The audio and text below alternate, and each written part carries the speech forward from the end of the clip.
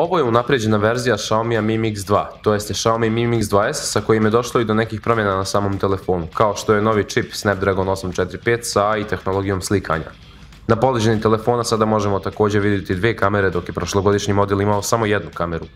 Tu je i wireless punjenje koje sada Mi Mix 2S podržava, pa da ga otpakujemo. Mi imamo verziju od 6 GB RAM memorije i 64 GB interne memorije.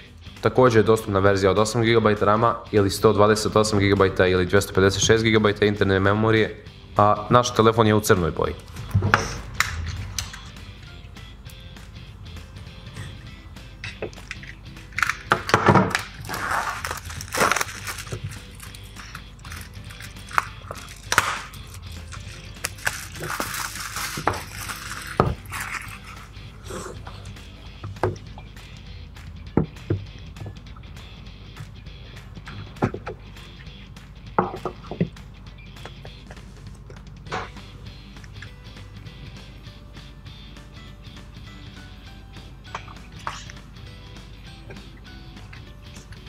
Ovo je novi Mi Mix 2S.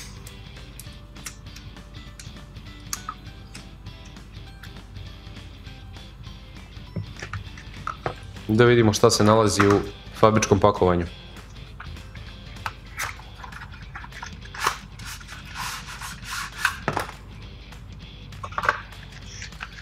Tu je USB Type-C na 3,5 mm audio jack, iglica za vađenje SIM slota,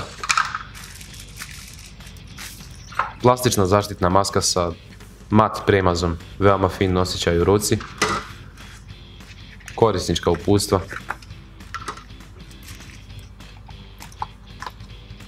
tu je i USB Type-C na USB-A prelaz, kabel to jest,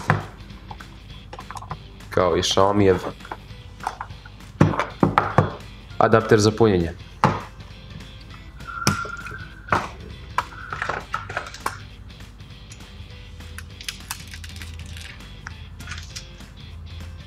keramička pozadina stvarno daje lijep osjećaj.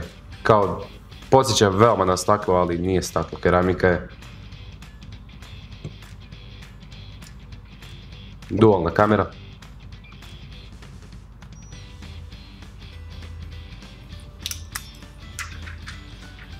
Ovdje vidimo i famozni mix ekran, a da upalimo telefon.